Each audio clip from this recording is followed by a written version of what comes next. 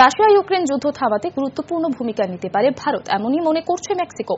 আর সে কারণেই তারা রাষ্ট্রপুঞ্জের কাছে একটি বিশেষ কমিটি তৈরির প্রস্তাব দিয়েছে, যাতে উল্লেখযোগ্য ভূমিকায় থাকবেন ভারতের প্রধানমন্ত্রী নরেন্দ্র মোদী।